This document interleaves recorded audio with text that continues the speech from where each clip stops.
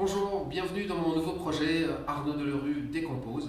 Alors c'est très simple, je joue un peu de batterie, un peu de basse, un peu de guitare, un peu de piano. Et euh, bah, le mieux c'est que je fasse une petite démo pour que vous compreniez de quoi il s'agit. Donc on va commencer par le rythme.